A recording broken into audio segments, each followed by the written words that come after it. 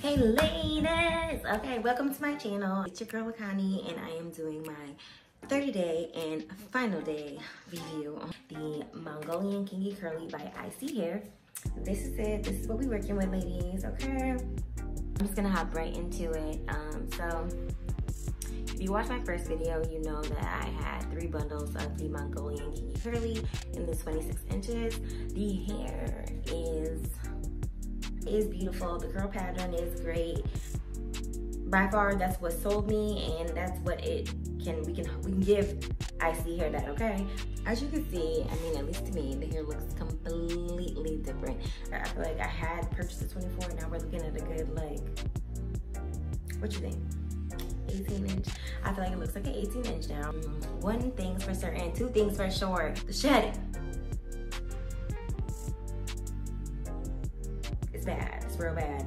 Um, it sheds so bad that I could probably make a wig with the leftover shed if I knew how to put hair back on a wig, but I don't, so.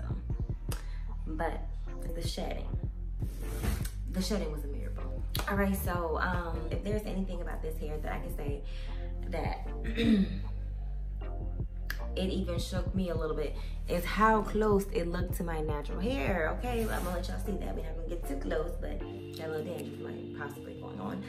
I got a lot of compliments on this hair, okay? People were like, is that yours, girl? It ain't, but you know, it looks like it. It just was so identical to my natural curl pattern. I definitely recommend that you get this hair in a longer length if you think this is something that you're gonna wanna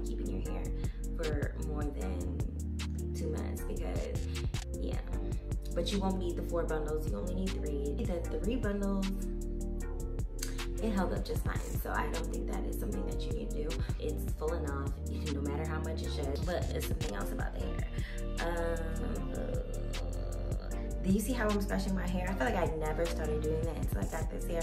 I don't know if it was something in the ISEE Hair Factory, but that's also why I feel like it's time for me to take it out because I gotta figure out what's going on. Would I purchase the hair again from this company? Yes. This particular type, no, because it was soft and I like it. Um, and I don't feel like I had the issue with the detangling, but that process where you wash your hair and you wear it for the next three days, you can't do that.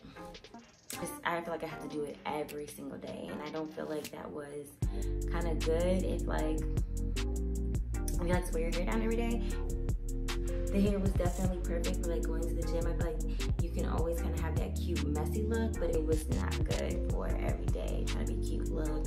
Um, it especially wasn't cute because it's just been shedding so bad that it just, I just, I can't deal with that personally.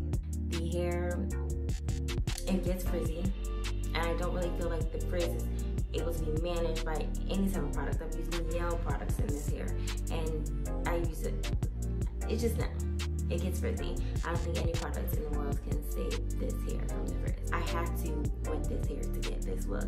I have to wait for it to dry. It looks its best when it's dry. But that waiting in between the wet and the dry,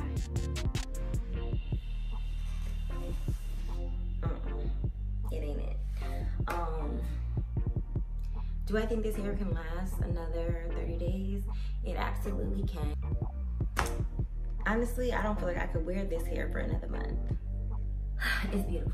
But that's that's really the most I can say about the hair. It's beautiful and I feel like if, if that's all you're going for, a look, you can achieve it with the ISEE hair. But if you want the look with low maintenance, this ain't it. If you want the look with no residue on your pillow, this ain't it. If you want the look without the um, extra time and the maintenance because of how much it tangles, this ain't it.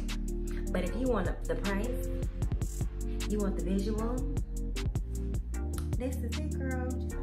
To you, boo. Um, other than that, ISEE hair, I would give them on a scale of one to ten.